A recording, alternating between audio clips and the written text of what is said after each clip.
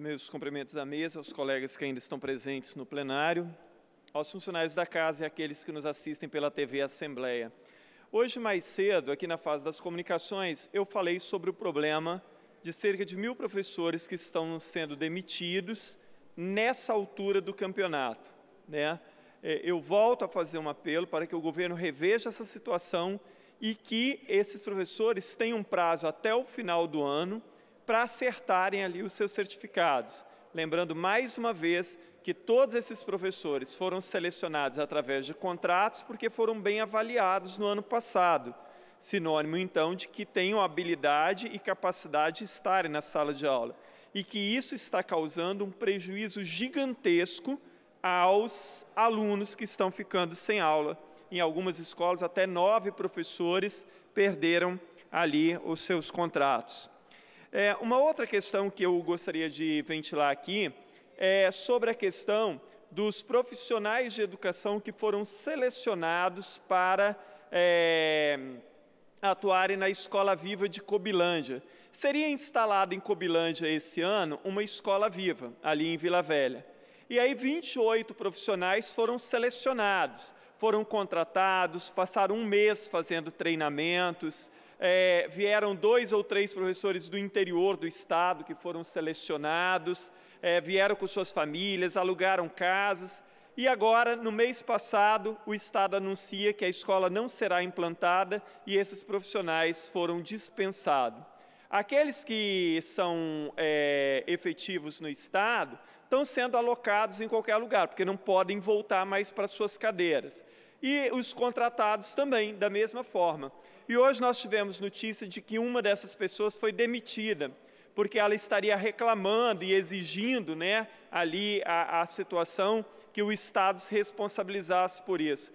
É, mais uma vez eu digo, tanto em relação a esses cerca de mil profissionais que estão sendo demitidos, quanto a esses profissionais que foram selecionados para a Escola Viva e agora estão sendo dispensados, mostra um total, uma total falta de planejamento da, da Secretaria de Educação e uma total falta de preocupação, tanto com alunos quanto com os profissionais. Os profissionais, então, são tratados de qualquer forma, como se fossem descartáveis. Né? Ah, agora eu preciso de você, agora eu não preciso, eu já demito, e, e assim por diante. Então, é lamentável que se trate os profissionais da educação desta forma, né? mais um absurdo nessa. Né? Parece, dá a impressão que a Secretaria de Educação não tem planejamento. É, eu gostaria também de falar um pouco sobre aquilo que o deputado Enivaldo dos Anjos falou aqui. Em parte, eu concordo com as ponderações do deputado Enivaldo. Agora, ontem nós ficamos estarrecidos com as gravações divulgadas do Romero Jucá. Agora, em relação a barrar a Operação Lava Jato, esta parte lembra bastante as conversas divulgadas do Lula. Aquelas conversas divulgadas do Lula também ele, ele colocava ali muito claramente uma série de artimanhas para tentar barrar a Operação Lava Jato. O que nos leva a crer, então, que a Operação Lava Jato, ela não interessa a ninguém, aos grandes partidos ela não interessa. Hoje, a grande parte dos partidos, sobretudo dos grandes partidos, estão envolvidos na Operação Lava Jato. Algumas vezes eu já tinha falado isso aqui nesta tribuna, eu já tinha dito que toda a alta cúpula do PMDB estava envolvida até as barbas com a Operação Lava Jato. Romero Jucá, Renan Calheiros, Eduardo Cunha, eh, Jader Barbalho, Valdir Raupe, toda a alta cúpula já tinha sido denunciada Quer dizer, qual era a, a, a possibilidade que essas pessoas não estivessem ali tramando, então, em relação a isso? mas os outros partidos também, como eu mencionei antes, até mesmo o PSDB, o, o AS tem sido citado algumas vezes nessa questão e precisa ser investigado. Agora, a ideia aí passa muito claramente, né, deputado Enivaldo, que a, a, a, Operação Lava Jato ela interessa muito à sociedade, ao Ministério Público Federal, à Justiça Federal, à Polícia Federal, mas ela não interessa aos grandes caciques dos principais partidos, porque de alguma forma tem ligação com isso. E, e nós vivemos uma situação agora extremamente é, é complicada no país, porque nós precisamos de uma reforma política muito bem feita, no país. Agora, quem tem que fazer a reforma política? são essas pessoas que estão envolvidas nisso. Então, assim, como é. A gente viu ano passado, naquilo que se chamou de mini reforma política, que as pessoas, elas, elas diziam ah, ah, o tempo inteiro, ali discutindo o que chamou de mini, mini reforma, é, sobre financiamento de campanha, sobre data de eleição, sobre é, é, reeleição e não sei mais o que. Agora, ah, observou-se até hoje, alguma vez, quando se fala em discutir é, é, reforma política ou as poucas coisas que se tenta reformar no Congresso, leis mais rígidas para punir corrupto. Isso nunca é discutido. No ano passado, por exemplo, quando aquilo que se chamou de mini reforma política foi discutido, ninguém ventilou ali no Congresso Nacional, nenhum dos partidos, que se tornasse muito mais fácil caçar corruptos no Brasil, que fosse muito mais fácil para a população influenciar na perda de mandato.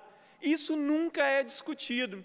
Então, a, a, a população talvez assim nós parece parece-me que estamos no fundo do poço na questão da crise ética, moral e que o sistema todo está contaminado. Não adianta partidarizar a corrupção. Ela está permeando todos os partidos praticamente e todas as instituições.